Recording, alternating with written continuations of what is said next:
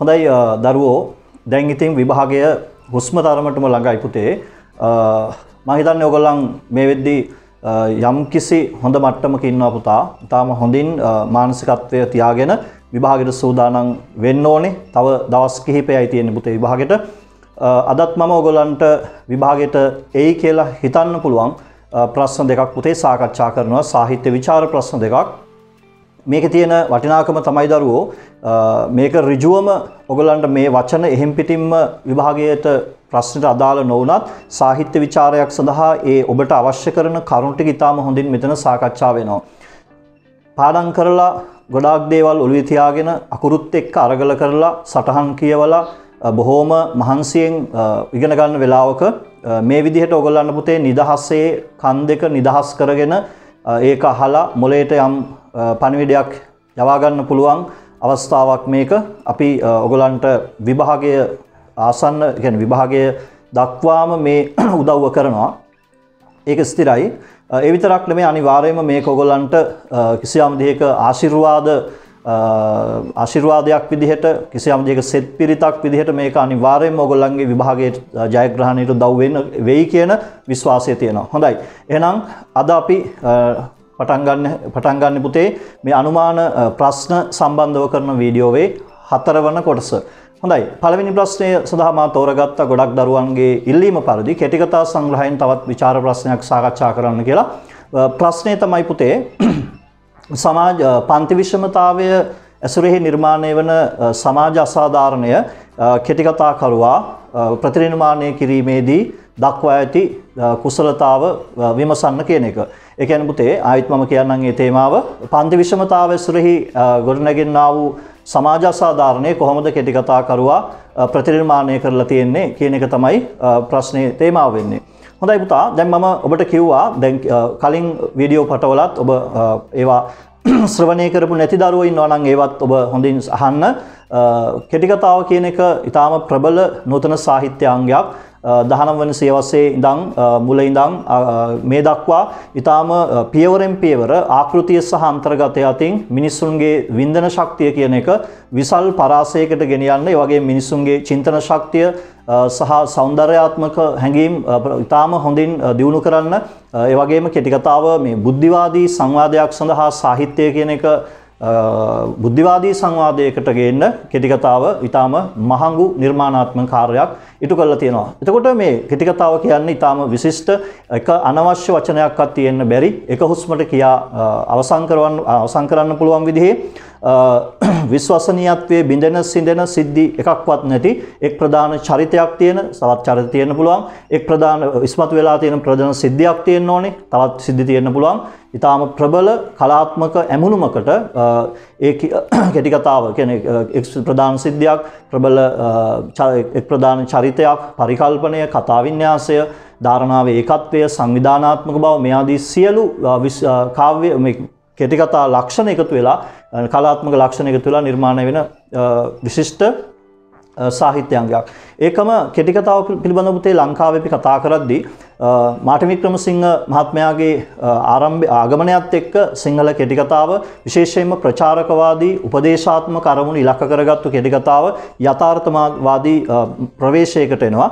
ඊට පස්සේ පුතේ කෙටිකතාව කරුවාට හම්බෙනවා අලුත් අත්දැකීම් ගොන්නක් විශේෂයෙන්ම 71 තරුණ කැරැල්ල සමාජවාදී තරුණ කණ්ඩායම් වල තරුණ කැඩැල්ල තරුණ කැරැල්ල ඒකම ඒ කැරැල්ල මර්ධනය සඳහා පවතින ධනවාදී ආණ්ඩුවලින් ගෙනයපු කිසියම් දෙයක ම්ලේච්ඡ මිලිටරි ප්‍රතිපත්තිය ඒ සහ ඒ ඇසුරෙහි නිර්මාණය වෙන ඛේදවාචක රැසක් අතුරු කතා කිහිපයක් මේ එක නිර්මාණය වෙනවා. ඒ අත්දැකීම් කෙටිකතා කරුවාට විශ්ය වෙනවා. ඒට පස්සෙ පුතේ 89 කළු ජූලිය කියන ඒ කාරණාව ඒ විසා අවාසනාවන්ත මේ ජාතිවාදී අර්බුද ගොන්නක රැසක ආරම්භයක් විදිහට ඒක අපිට හඳුන ගන්න පුළුවන්. මේ මේ අත්දැකීම වෙනවා. ඒත් එක්කම ඊට කලින් 77 විවෘතාර්ථික ප්‍රතිපත්තිය ඒකත් විශිෂ්ට ඒ කියන්නේ කෙටිකතාකරණයට හොඳ ප්‍රවේශ මාර්ගයක් තමයි 77 විවෘතාර්ථිකය.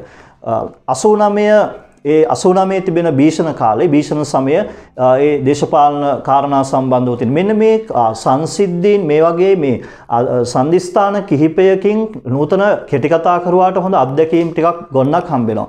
විශේෂයෙන්ම හුතේ 77 විවෘතාර්ථික ප්‍රතිපත්තියෙන් පස්සේ ලංකාවේ අර කලින් තිබ්බ රදල වැඩවසම් සමාජ ක්‍රමය බිඳවැටලා ඒ කියන්නේ විශේෂයෙන්ම කුලය කියන සාධකයත් එක්ක තිබිච්ච සමාජ ක්‍රමය බිඳවැටිලා වැඩවසම් සාම්ප්‍රදායික සමාජ ක්‍රමය බිඳවැටලා නව ධනේශ්වරයක උදාවක් ලංකාවේ අපිට දකින්න හම්බ වෙනවා. එතකොට මාර්ටින් වික්‍රමසිංහ මහත්මයාගේ විශේෂයෙන්ම ගම්පෙරළිය කලියුගයේ යුගාන්තය කියන නවකතා වලින් ඒ නව සමාජ පෙරළිය තමයි පුතේ කලාත්මකව විවරණය කරන්නේ.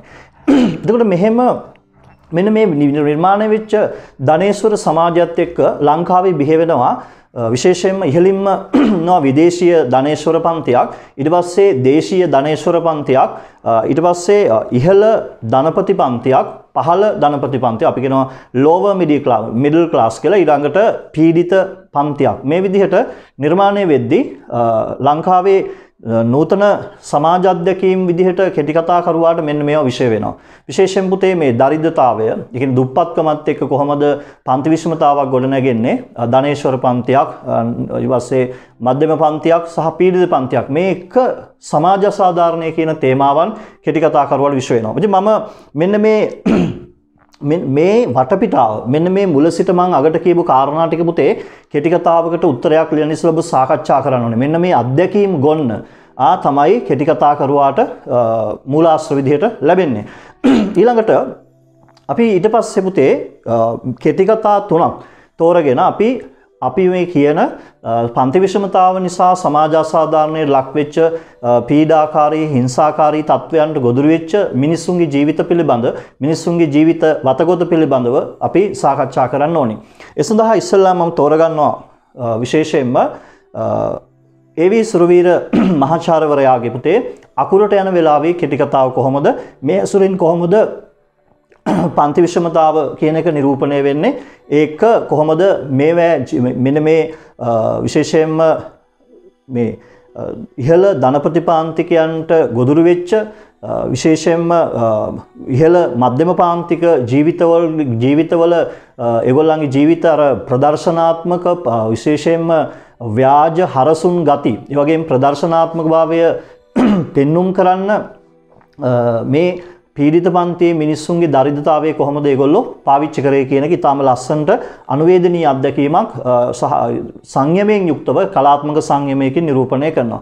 මේ කෙටි කතාවේ මේ අකුරට යන වෙලාවේ කෙටි කතාවේ විශේෂයෙන්ම මහාචාර්ය වී සුරවීරයන් මේ ඉහළ ධනපතිපාන්තික මිනිසුන්ගේ හරසුන් ව්‍යාජ ප්‍රදර්ශනාත්මක බටහිර අනුකාරකවාදී සමාජ ජීවිතය කිසියම් විදියකින් හාස්‍යයෙන් උපහාසයෙන් බැහැර කරන ගමන් ඒගොල්ලන්ගේ ජීවිතවල දැන් තමන් මේ ඉහළ ධනපතිපාන්තික මිනිස්සුන්ය කියලා පෙන්වන්න මේ මෙහෙකාරකමට මිනිස්සු යොදාගන්න එක ඒගොල්ලෝ කිසියම් විදිහකින් මේ තමන්ගේ සමාජ තත්ත්වය පෙන්වන්න ඒක යොදාගත්තා. ඒකේ ලොකුම අවාසනාව තමයි සමහර ආර්ථික සහ සංස්කෘතික දරිද්‍රතාවෙන් යුක්ත දෙමාපියන් මොකද කරන්නේ තමන්ගේ දරුවන්ව තමන්ගේ ආර්ථික ප්‍රශ්න කිසියම් විදිහකින් සමනය කරගන්න ඉහළ ඒ නාගරික සමාජ පන්තියේ ධනපතිපාන්තික මිනිස්සුන්ගේ නිවෙස්වලට මෙහෙ කාරකමට යව්වා. එහෙම යවපු සංකේතාත්මක චරිතයක් තමයි මේ මැනිකා කියන චරිතය මැනිකා කියන චරිතය ඒක කිසියම් විදිහකින් පුතේ මේ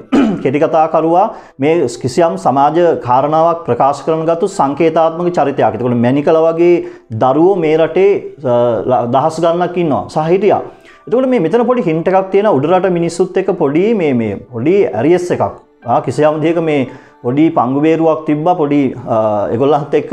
එතමයි උඩරට මිනිස්සු දැන් ඉහල දැන් ඉස්සර මීට කලින් ධනේශ්වර සමාජයට කලින් කෙනෙ එගොල්ලන් තිබ්බේ වැඩවසම් සමාජ ක්‍රමය. එතකොට වලව්වල හිටියේ හාමුලා බණ්ඩාර හාමුලා මැනි කෙලා එතකොට මේ මැනි කෙලාව පොඩ්ඩක් කිසියම් දිහකින් අපේගේ දොල්වල ඔගොල්ලන්ගේ මැනි කියලා අපේ ගවල් වැඩකාරකම් කරනවා කියන පොඩි මේ මේ රිද්දිල්ල කිසියම් දෙයක මිනිස්වර ඒ ව්‍යාජ ස්තුති යොදාගත්තා තමන්ගේ නිවෙස්වල විශේෂයෙන්ම මේ ධනේශ්වරයෙන්. මුදල් නිසා සමාජයේ කිසියම් පන්තියක් නිර්මාණය කරගත්තු මිනිස්සු ඒගොල්ලන්ගේ නිවෙස්වල අයට ඒ ඉහළ රදල වැඩවසම් මිනිසුන්ගේ වලව්වල අයගේ නම් තිබ්බ. මැනික ලවුනා වැඩ මෙහ කාරයෝ බණ්ඩාරලා ගෙදවලල මේ ගරාජ්‍යක බලාගන්න වාහන හෝදන හය වනා මෙන මේ විදිහට. එහෙම කාරණත් අපි දැනකටින්න ඕනි පුතේ. එතකොට මේ මැනිකා නෙමෙයි පුතේ මේ චරිතය. ඒගොල්ලන්ගේ දෙමාපියන්ගේ දරිද්ධතාවය නිසා තමයි මේ නාගරික ඉහළ මධ්‍යම් පාන්තික නිවසට මේ මෙහිකාරවට ඒකට ඒ දරුවාට සොඳුරු පොරොන්දුවක් වෙනවා. අනාගතයේ හොඳ බලාපොරොත්තුවක් දෙනවා. බංගලාවට ඇවිල්ලා මෙහිකාරකම යෙදුනොත් ඔගොල්ලන්ට මේ බේබිලත් එක්ක. එතකොට එගොල්ලන් එගොල්ලන්ගේ පන්තියේ සමාජ ජීවිතය ඉතා හොඳින් නිරූපණය වචන. Mister Karunapala Mrs Karunapala. Baby. මේ වගේ නාම කරන සිංහල ඉංග්‍රීසි මුසු භාවිතයක් තියෙන්නේ. එනිසා එගොල්ලොත් එක්ක ඉස්කෝල යන්න වරප්‍රසාද ලැබෙනවා. මේ විදිහට තමන් බංගලා වෙලට ගියොත් කියන ඒ මතවාදය මැනිකා කියන දියනියට ඉතා කුඩා දියනයට දුන්නට පස්සේ යාට ඉතාම් ප්‍රබල අපිගෙන මොරාල් එකක් හොඳ චිත්ත දෛරයක් ලැබෙනවා කමක් නැහැ. මට ඉස්කෝල යන්න ලැබෙනවා නම් ඒ කාරණා මුකුත් ප්‍රශ්නයක් නැහැ කියන එක. මේක මට මතක් වෙන්නේ මස්කින් ගෝර් කියනවා තමන්ට ප්‍රසිද්ධියේ කවුරු හරි කස පහර 100ක් දුන්නත් තමන්ට පොත් කියවන්න අවස්ථාවක් දෙනවා. තමන්ට විෂය කාරණාවක් උගන්වනවා මම ඒකට එකඟයි කියන එක. ඒකම මොනිකාරුවන් පතිරණ රචනා කරන කවි පන්තියක් තියෙනවා මේ පියසේන සූ ප්‍රශ්නයක්. එතකොට පියසේන එන්නෙත් මේ වගේ බලාපොරොත්තුවක් එක්ක නාගරික නිවසට අධ්‍යාපනය හදාරන්න. ඒ කියන්නේ එයා කොච්චර කටුක දුක් වේදනා ඉවසන්න පුළුවන් අධ්‍යාපනය ලැබෙනවා. නමුත් ඒ දරුවන්ගේ බලාපොරොත්තු ඉතාම අවාසනාවන්ත විදිහට දිය වෙලා හීන වෙලා යනවා. මේක මේ කාරණාව ඉතාම ලස්සනට කෙටි කතා කරුවා සංයමයෙන් යුක්තව නිරූපණය කරනවා. එක් තැනකදී මේ දරුවව බාර දෙන්න එන ඒ දරුවගේ තාත්තා මේ ගැමියන් නූගත් ආර්ථික වශයෙන් සංස්කෘතික වශයෙන් දුප්පත් මේ ගැමියා කියනවා අපේ පවුලගේ කැමැත්ත කෙල්ලව තව ටිකක් ඉස්කෝලේ අරින්න. මට පුළුවන් ද මහත්තයෝ ඕවා කරන්න. ඉස්කෝලේ ගියා කියලා දැන් මොනවා කරන්නද? ඉස්කෝලේ ගුරුකම් වලට උගන්වන්න මට හයියක් තියෙනවා. මෙතන ඒගොල්ලන්ගේ චින්තනමය දරිද්‍රතාවය තමයි හෙළි වෙන ප්‍රධාන තැන තමයි හැම ප්‍රධාන කෑල්ල තමයි පුතේ මෙතන ඉස්කෝලේ ගියා කියලා මොනවා කරන්නද?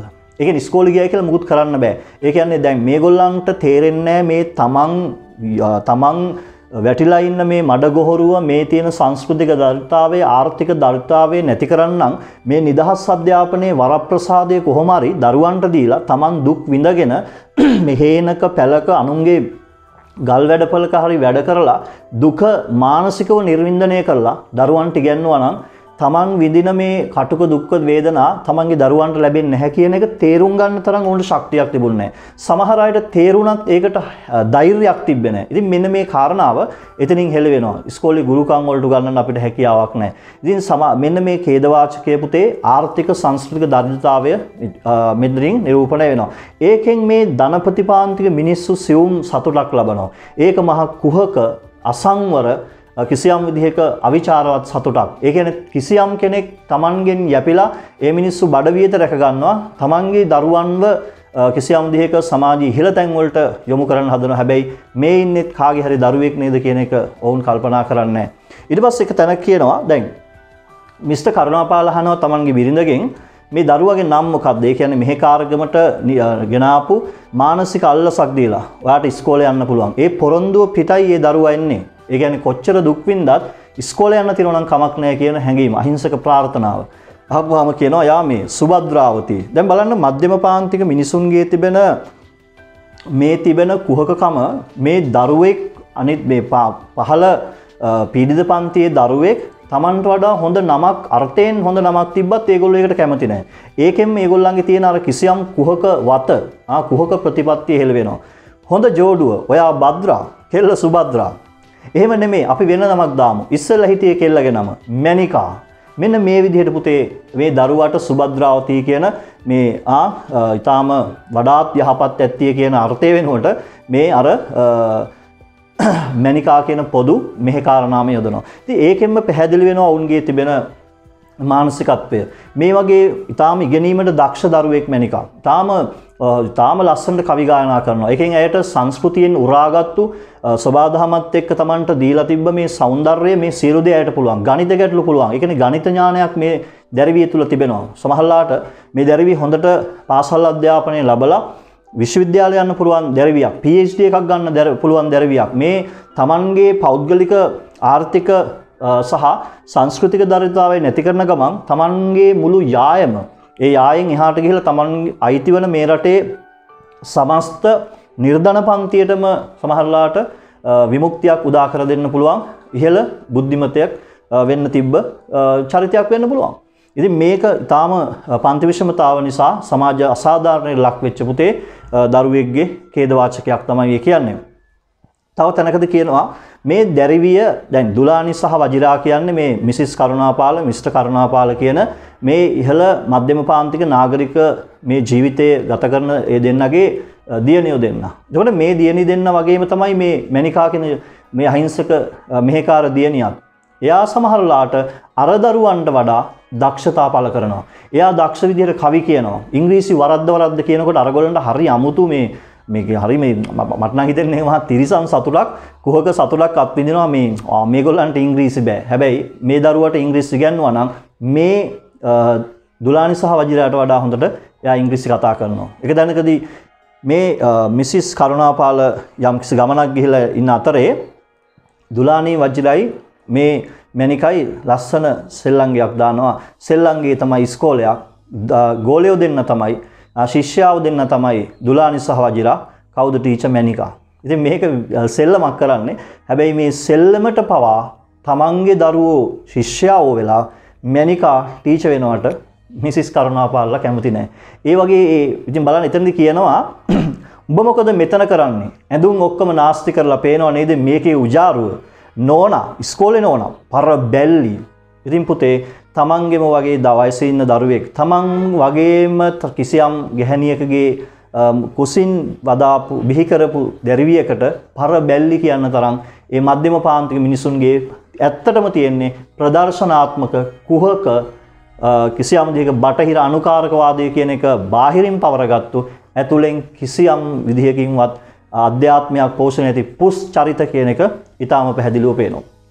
හොඳයි. ඊළඟට කළු සපත්තු කියන කෙටි කතාවුටේ මේ සඳහා තවත් උදාහරණයක් විදිහට ගන්න පුළුවන්. ජයතිලක කම්මැල්ල වීර. ජයතිලක කම්මැල්ල වීර කියන කෙටි කතා කරුවාගේ විශේෂත්වය තමයි පුතා ඒගොල්ලෝ පළවෙනි වාක්‍යයට මේක ලියන්න. ඒ කියන්නේ මේ උදාහරණය පටන් ගන්න තැනින්. මේ මධ්‍යම පාන්තික සමාජ ජීවිතවල තිබෙන හැලහැප්පීම්. මධ්‍යම පාන්තික සමාජ වල තිබෙනා වූ මේ ප්‍රදර්ශනාත්මක හරසුන් භාවයන් එතුමාටත් ඊටාම සියුම් විදිහට ග්‍රහණය වුණා.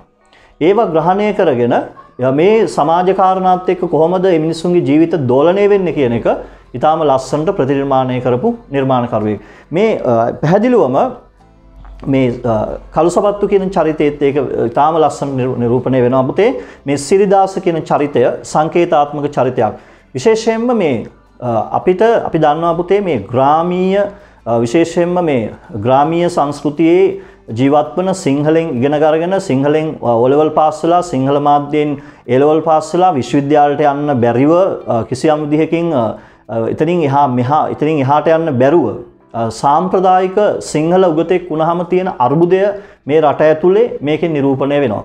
ඒ විතරක් නෙවෙයි කිසියම් විදිහකින් මේ වරප්‍රසාද හිමි වෙන රැකියාවක් ඉහළ වැටුපක් ඉහළ බලයක් හිමන වැටුපක් ලබා ගන්න කිසියම් දේ සංස්ථාලොක්කෝ අමාත්‍යංශ ලේකම්ලා ඊට පස්සේ එහෙමත් නැත්නම් മന്ത്രിවරයෙක් ඇමතිවරයෙක්වත් අඳුරන්න ඕනේ කියන මේ කිසියම් විදිහක අවාසනාවන්ත මේ රටේ තියෙන අර කුණු වෙලා සැරව ගන්න අරාජික වෙච්ච දේශපාලන සංස්කෘතිය පැතිකඩක් මෙතනින් කියනවා.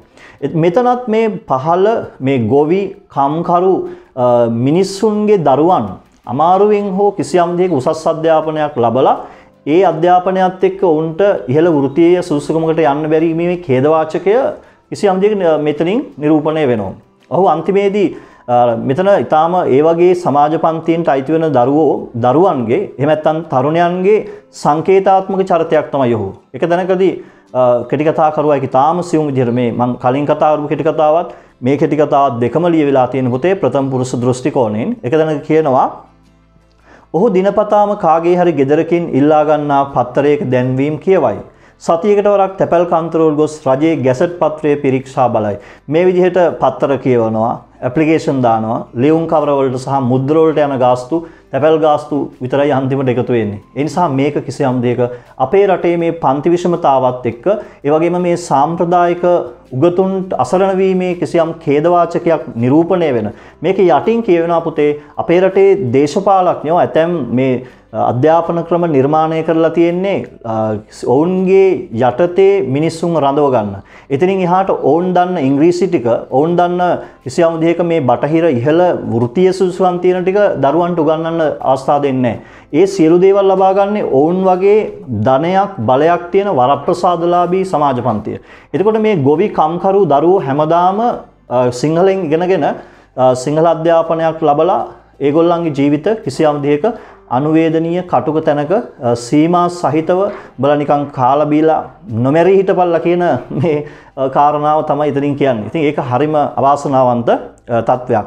ඒකම පුතේ මං ඉස්සලා කියපු අර මේ පන්ති විෂමතාවත් එක්ක බලයක් නැති මුදලක් නැති මිනිස්සුන්ට කිසියම් කාගේ හරි කිහිලිකරුවක් වෙන්න. කිහිලිකරුවක් අවශ්‍ය වෙනවා. කාගේ හරි ෆයිල් එකකින් තමයි ගොඩ යන්න වෙන්නේ. ඔයගොල්ලන් භාෂාවෙන් කියනවා. කාගේ හරි නමක් කියලා. මම මේ මන්ත්‍රීතුමා අඳුරනවා. මම මේ ඉහළ නිලධාරියා අඳුරනවා. ඒ කොච්චර පුතේ අවාසනාවක්ද? ඒ කියන්නේ තමන්ව මේ රටේ තමන් ඉගෙනගෙන මේ රටේ තමන්ට තැනක් හදාගන්න පුතේ කාට හරි මානසිකව අපි බාල්දු වෙන්න සිද්ධ වෙනවා. මේ බලන්න. ඇමතිවරයෙකු මන්ත්‍රීවරයෙකු කෙසේ වෙතත් සංස්ථාවක අධ්‍යක්ෂවරයට හෝ එවැනි උත්තමයගේ නෑහිතවෙතකොට යන්තමින් ගෑවී ගිය නෑකමක්වත් නැති එක මොනතරම් අභාග්‍යයක් දැයි සිරිදාසර දැන්නම් හොඳ හැටි අවබෝධ වී තිබේ. ඉතින් පුතේ ඔගොල්ලොත් මේ අදහස හොඳින් ඔළුවට ගන්න ඕනේ. ඔගොල්ලන් එච්චර අවසනාවන්තර එකක් නෑ රට අපේ කිසියම් සුභවාදී දිශානතිකට යයි කියන බලාපොරොත්තු අපිට තියෙනවා. හැබැයි පුතේ එක් කිසි දෙයක් ගැන විශ්වාස කරන්න ඉස්සෙල්ලා ඔගොල්ලොත් තමන් ගැන විශ්වාස කරන්න පුතා.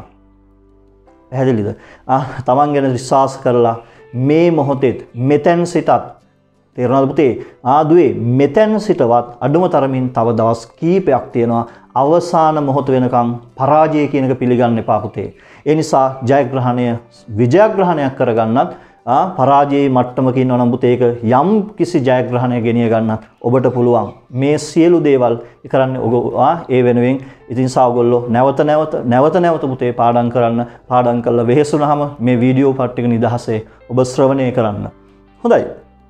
ඊළඟට අපිට පුතේ මේකට තව ලස්සන කෙටිකතා කෙන අත්දැකීමක් එමත් ඇත්ත අපිට මේ සමාජ විෂමතාවය පිළිබඳව කියවෙන ඉතාම හොඳ ගැලපෙන පුතේ නිදසුනක් විදිර ගන්න පුළුවන් රංජිත් ධර්ම කීර්ති සූරීන්ගේ කවියෙකුට අත්දැකීමක් කෙටිකතාව. පැහැදිල්ලමතා කවියෙකුට අත්දැකීමක් කියන කෙටිකතාව. එතකොට මේ කවියෙකුට අත්දැකීමක් කියන කෙටිකතාව පුතේ ඔගොල දන්නවා මේක අත්දැකීම මේ රාත්‍රී කාලය පුතේ මේ මේ ළඟම බස්සයකට ගොඩ වෙන මේ ගැමියෙකුගේ අත්දැකීමක් ඇසුරෙන් සමහල්ලාට ඒ මනුස්සයා කුණු මාළුකූරියෙක් කරගෙන තමන්ගේ දරුවන්ට බොහොම ආදරෙන් ඒක උයලා පිහලා දෙන්න බලාපොරොත්තුවෙන් යන මේ කිසියම් දෙයක මේ ජීවිතයත් එක්ක අරගල කරන කිසිවෙකුගේ ඇගීමට ලක්වෙන්න ඇති චරිතයක් පිළිබඳව මේ කියන්නේ. අපේ රටේ තියෙන කිසියම් දෙක අවාසනාවක් තමයි පුතේ මේ ශ්‍රමය කියන එක අපේ රටේ බාල්දු කරනවා. හැබැයි ශ්‍රමය වෙනුවෙන් කවි ලියන જાතියක් අපි ශ්‍රමිකයා වගේ කළා ගීත ලියන જાතියක් අපි ඊට පස්සේ කම්කරු දිනයක් සමරලා එදාට මිනිස්සු මේ ඒගොල්ලන් තමයි මේ ලෝකේ ගොඩනගන්න කියලා මහ පොරු බොරු පුරාජේරු ගහන දේශපාලනඥයෝ ඉන්න රටක් මේක. ඒ නිසා හැබැයි පුතේ එහෙම කරාට ඒ එක දවසකට විතරයි. ඒ සමස්තයක් විදිහට අපේ රටේ ශ්‍රමය බාල්දු කරනවා පුතා. හැබැයි ඔයගොල්ලන් හිතෙන්නේ නැද්ද පුතේ ශ්‍රමය බාල්දු කරන එක හරි මෝඩ වැඩක්. නිකමට හිතන්න සමහර මිනිස්සු ඉන්නවා බොහෝ උගත් දැන උගත් මිනිස්සු පුතේ මේ සමහරලාට මේ අතු තියෙන ගහකටවත් නැග ගන්න බෑ. ඒකට ඒක අපි කිසියම් විදිහකින් ලැජ්ජ වෙන්න ඕන කාරණාවක්. තේරෙනවද පුතේ? ගෙදරක බල්බ් එකක් ගහලා ගියාම ඒ බල්බ් එක දාගන්න බෑ. ඒක අපි එතකොට එවැනි උගතුන්ගේ ඇති ඵලය මොකක්ද? එතකොට අපි ඊට වඩා පුතේ ඔයගොල්ලෝ හිතනවාද මේ මීටර් ගාණක් උස පොල් ගහකට නගින්න පුතේ මිනිහගේ කශේරුකාව කොච්චර ශක්තිමත් වෙන්න ඕනද? ආ ඔහුගේ තිබෙන පුතේ හොඳ මේ කාය ශක්තිය කොච්චර තියෙන්න ඕනද? ආ කොච්චර නිරෝගී වෙන්න ඕනද? ඒ නිසා ශ්‍රමයේ බාල්දු කරන්න හොඳ නැහැ කියන එක ශ්‍රමිකයා පුතේ ශ්‍රේෂ්ඨයෙක් කියන්න පොඩිම උදාහරණයක් තමයි මම මේ ඔයගොල්ලන්ට කිව්වේ. ඒ නිසා මේ මිනිස්සයා පුතේ මේ මත්පැන් ටිකක් පානය කිරීමෙන් බේබද්දෙක් බේබද්දෙක්ම වෙන්නේ නැහැ. දැන් මත්පැන් මං කියන්නේ පත්පැන් පානය කරන එක හොඳයි කියනනේ. දැන් මේකත් බලන්නකෝ හැටි පුතේ. දැන් ඉහළ සමාජයේ මිනිස්සු පුතේ දැන් ආ ප්‍රිය සම්භාෂණ උත්සවවලදී ඒක ටයිකෝඩ් දාලා හරි එහෙම මත්පැන් පානය කරන එක ඒක මහා අමුතු සමාජීය අපි එතනට කියනවා මේ සෝෂල් ඩ්‍රින්ක් එකක් ගන්නවා. එතකොට ඒගොල්ලෝ උසස් වෙනවා. ඒගොල්ලන්ට ඒක කිසියම් දෙයක සමාජයේ කිසියම් දෙයක ජීවන විලාසිතාවක් වෙනවා. එහෙනම් ඉතින් ඒකත් නරකයිනේ. මේ මිනිස්සයා ඇඟේ වෙහෙසට Tamanට තියෙන මුදලේ ගන්නට එහෙම මත්පැන් ටිකක් පානය කරලා කායික වෙහෙස නිවා ගන්න එක මම කියන්නේ හොඳයි කියන එක නෙමෙයි මම කියන්නේ නරක නම් අරකට නරකයි. මේ බලන්න පුතේ මේ සියලු දේවල් නරක මේ කියන්නේ හොඳ නැති වෙන්නේ මේ කවුරුවත් කිසිම ගණන් ගන්නකට ගණන් ගන්න නැති තත්ත්වයට පත් වෙන්නේ පුතේ මිනිස්සුන් මුදල් නැති හින්දානේ. බලය නැති හින්දානේ. මුදල් බලය තිබ්බනම් සුරාව කියන එකත්, සූදුව කියන එකත් අනිකුත් දේවලුත් ඒගොල්ල මහලුකු දේවල් නෙවෙයි. ඉතින් මේ හැම දෙයක්ම පොඩි ව්‍යාජ කාරණා තියෙනවා. කුහකකම් තියෙනවා පුතේ. තේරුණාද? එතකොට ඒ මිනිස්සයා පුතේ පහළ පීඩිත පන්තිට අයිති වෙන මිනිස්සෙක්. ඒ නිසා මේ ප්‍රබලයා විසින් පුතේ සූරාගෙන කන මිනිස්සෙක්. මෙතන තියෙන අවාසනාව පුතේ එයාගේම පන්තිය කෙනෙක්ම මෙයාවත් සූරගෙන කනවා. මේ කුණු මාළු කූරියෙක් විකුණන්නේ සාමාන්‍ය පුතේ මත්ස්‍ය වෙළඳාම් කරන්නේ මහලුකු ධනපතියෝ නෙවෙයිනේ. නේද? ඒ මකුණු මාළු කූරියෙක් දෙන්නේ. මේ බලන්න පුතේ ඔවුන්ගේ ජීවිතවල තිබෙන අනුවේදනීයකම මගේ බාලපුතා හැමදාම කියනවා තාත්තේ මේවත් එක්ක බත් කන්න පුළුවන් නෑ. හැමදාමත් සම්බෝලයි කිරිහොදී බතුයි. එහෙම නැත්නම් කිරිහොදී සම්බෝලයි බතුයි. ඉතින් මේ මිනිස්සු හැබැයි වෙරදරනවා පුතේ ගොඩාක් අය සම්බෝලයි බතුයි හරි කිරිහොදී බතුයි කාලා හරි පාන් කෑල්ලක් තේහික පොඟවන කාලා හරි පුතේ ජීවිතේ ජය ගන්න. හැබැයි දරුවෝ එහෙම ජීවිතේ ජයගත්තු දරුවොත් ඉන්නවා.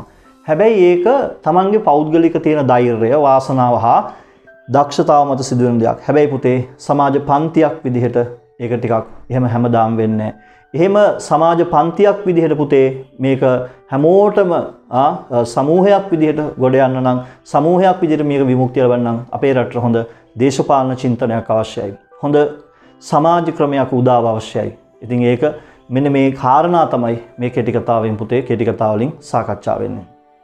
හොඳයි එහෙනම් ඒ ප්‍රශ්නයත් හොඳට ඔළුවේ තියාගන්න පුතා. ඒ වගේම ඒකෙන් කියපු කරුණු ටික ඔයාලට කෙටි කතා සම්බන්ධයෙන් වෙන විදිහේ ප්‍රශ්නයක් ඇහුවත් එකතු කරගන්න පුළුවන්.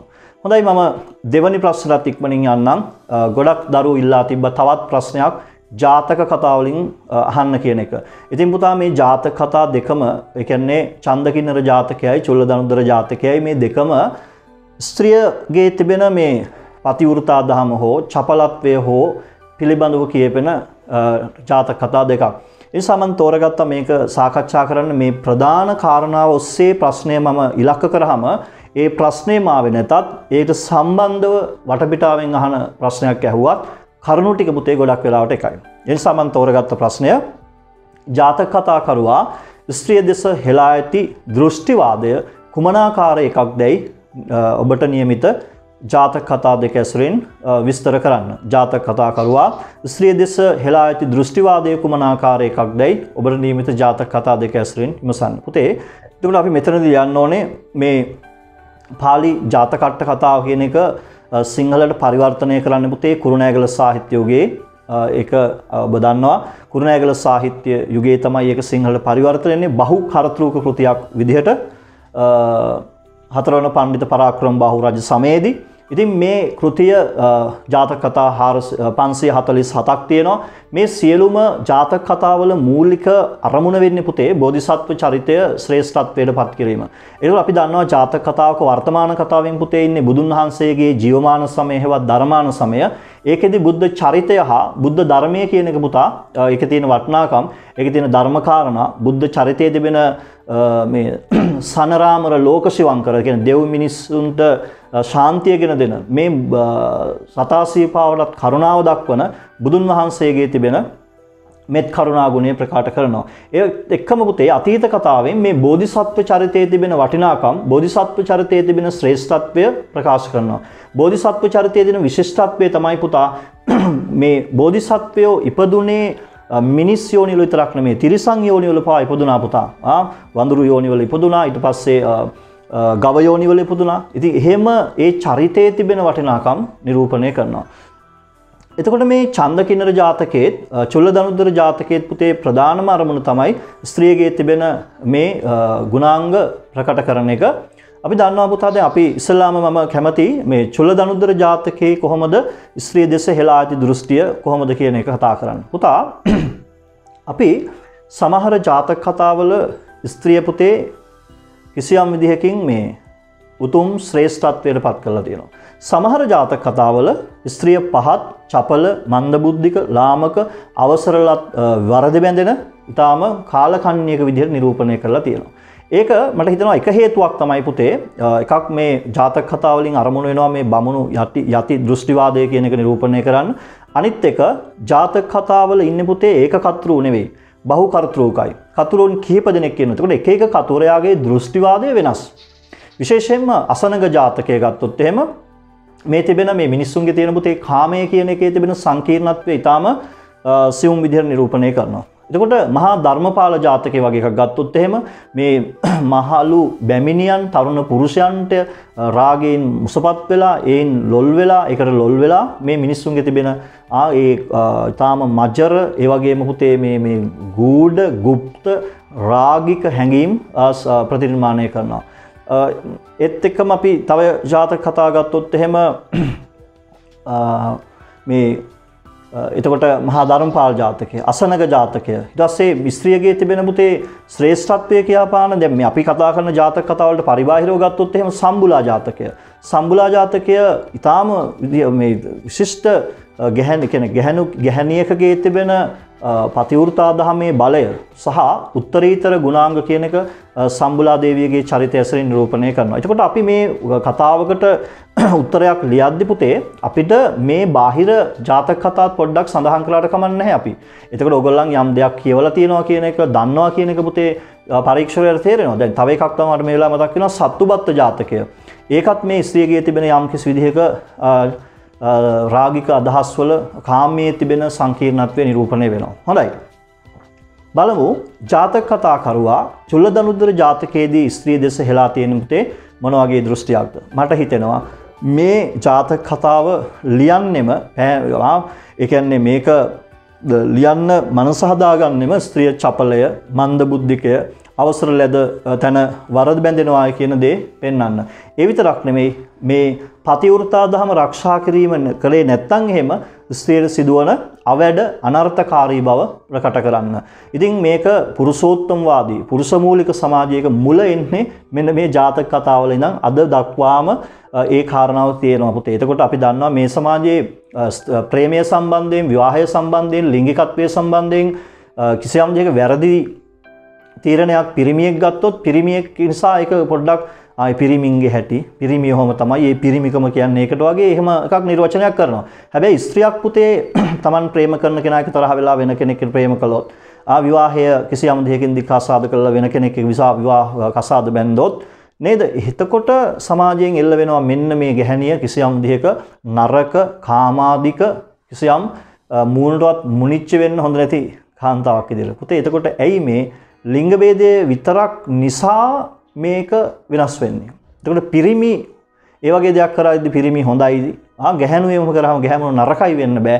හොඳ නම් පිරිමිත් හොඳයි ගැහැණුත් හොඳයි. නරක නම් ගැහැණුත් නරකයි පිරිමිත් නරකයි. ඉතින් මේ විදිහට චින්තනමය දියුණු බවක් ඇති කරගන්න තමයි පුතේ අපි මේ ශාස්ත්‍රීය විෂයන් මේ අවුරුදු දෙකක් තිස්සේ හැදෑරුවේ.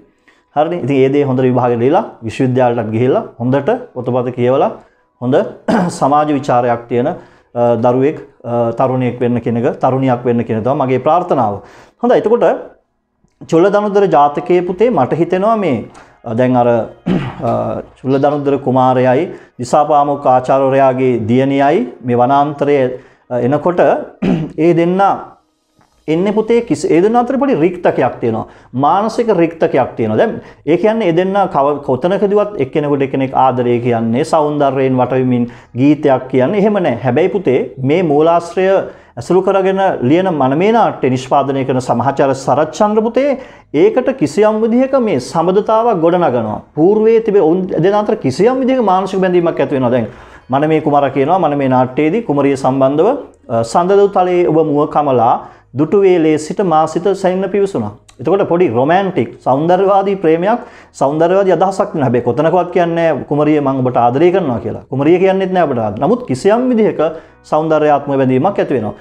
කුමරියත් කිසියම් විදිහක මේ මේ කුමරාගේ බලාත්මක බවට රාජකීය උරුමයට කිසියම් විදිහක අභිමානයට කැමැත්තක් දක්වනවා. ඒ නිසා කියනවා ඔබ වැනි තෙදපත් නිරිඳුන්ගේ අගමෙහෙසියවන් මා පින් කළ සැටිය පෙනෙන්නේ. පුතේ කියන්නේ ඔබ වගේ තරුණයෙකුට ඔබ වගේ යෞවනයෙකුට ආදරය කරන්න ප්‍රේම කරන්න මම පින් කළා කියලා නෙවෙයි. ඔබ වැනි තෙදපත් නිරිඳුන්ගේ අගමෙහෙසියවන්.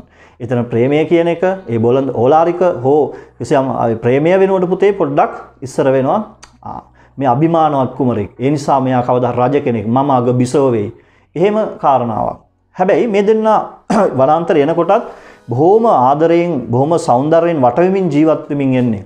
ආ ප්‍රේමයෙන් මනරංජිත වේ නන්දිත වේ. හැබැයි ජාතක කතා කරුව පුතේ එහෙම අවස්ථාවක් නිරූපණය කරන්නේ ඍජුවම මේ වනාන්තරයේදී එකතු වෙන හම්බෙන පුතේ හොරු කණ්ඩායම හොරු 500 ගාවට මේ කුමාරයා පුතේ යවනවා අර පිලිස්සපු මස් ඉල්ලගෙන එන කුමාරිකාව. මේක ඔබට අදහන්න පුළුවන්ද? මට නම් විශ්වාස කරන්න බෑ. මේ වගේ පුතේ ශිල්පයෙන් බලයෙන් චින්තනයෙන් පිරිපුන් තරුණේ කුමාරයෙක් ඇයි තමන් යන්නේ නැතුව තමන්ගේ බිරිඳව පුතේ අර අවිනීත අසංස්කෘතික මිලේච්ඡ සංවරකමක් නැති මිනිස්සු ගාවට යවන්නේ. ඒ ඇයි පුතේ ජාතක කතාකරුවට ඕනේ ස්ත්‍රිය චපලයි කියලා පෙන්වන්න පුතා බලෙන් අවස්ථාවක් නිර්මාණය කරන්න. ඉතින් ඒ නිසා තමයි එහෙම කරන්නේ. ඊට පස්සේ එහෙම ගියාම දෙවනි වතාවත් යවනවනේ. එතකොට සොරුන්ට තරහ ගිහිල්ලා මොකද කරන්නේ? ආ සොරු ආ මොකද කරන්නේ මේගොල්ලොත් එක සටන් වදලා කොහොම හරි කුමාරයා අනිත් 400 ගාන 99 මරලා මේ සොර දෙටුවත් එක සටන් වදිනවා. ඒ වෙලාවේ පුතේ සොර දෙටුවා කියන්නේ අර කඩුව දැන් සොර දෙටුවාව පාලනය කරලා ඔහුව කිසියම් දෙයකින් පාලනය කරලා කුමාරයා කුමරියගෙන් කඩුව දෙනවා. එතකොට ඍජුවම කඩුව දෙන්නේ කාටද පුතා? සොර දෙටුවට. ආ කඩු මිට දෙන්නේ සොර දෙටුවට ආ කුමාරයට දෙන්නේ කඩු කොපුව. ඉතින් පුතේ අවසරයෙන් කුමාරයාගේව ආ මොකද කරන්නේ සොර දෙටුව ඇනලා මරනවා. එතකොට මෙතන ඍජුවම ඇය චපල වුණා කියන අදහස පුතේ ආ ප්‍රතිනිර්මාණ කියන්නේ එතනින් හැඟ වෙනවා.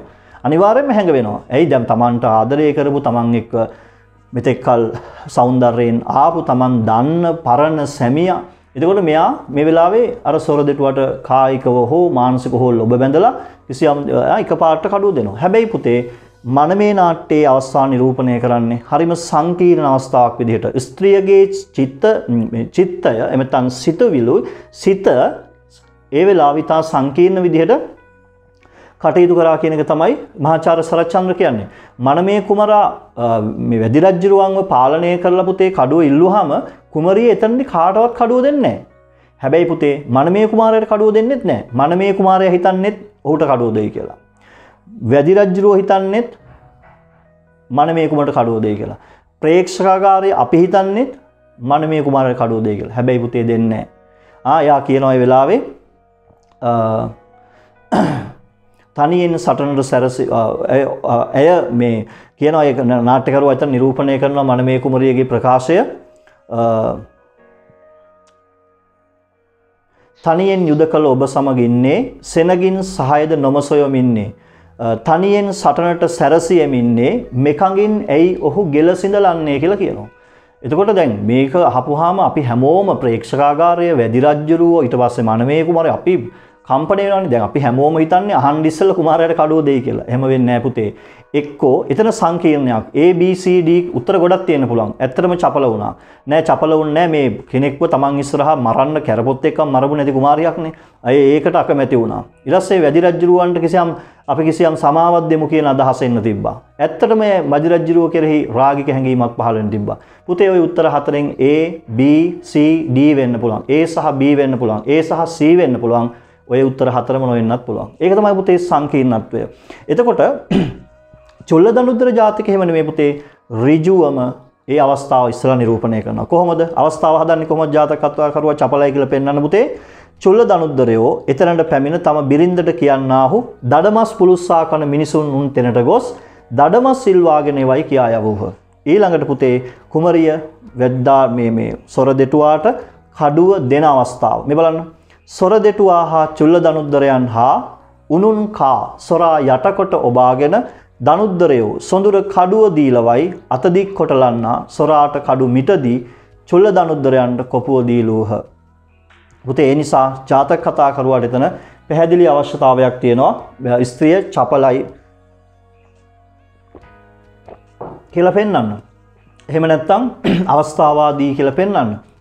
අවස්ථාව රහස්තන ලැබුණාම වරද බැඳෙනවා කියලා පෙන්වන්න. ඉතින් පුතේ ඒ නිසා තමයි ජාතක කතා කරුව අවසානයේ මේ අවස්කේ ජාතක කතා අවසානයේ මේ පතිවෘතා දහමේ වටිනාකම ඉස්මතු කරලා පෙන්වන්නේ. ඉතින් එතකොට පුතා චුල්ල දනුද්දර ජාතකය නිරූපණය කරන්නේ. හැම වුණාට චන්දකින්නර ජාතකයේ පුතේ ස්ත්‍රිය උත්තරීතර බවට පත් කරනවා. විශේෂයෙන් මෙතන එන්නේ යසෝදරාව හෙවත් බිම්බාදේවිය සිංහල බෞද්ධ කුළඟනගේ පූර්වාදර්ශ චරිතය ඇයව නිරූපණය කරන්නේ ඉතා ශ්‍රේෂ්ඨ උතුම් ගතිගුණ තියෙන හැඟීම් පාලනය කරගත්තු සංවර හිතින් හා කයින් සංවර වෙච්ච සිදුහත් සමග සාංසාරිකව පුතේ ආධ්‍යාත්මික ප්‍රේමයෙන් වෙලී බැඳී පැටලී ආපු උත්තරීතර බිරිඳක් විදිහට.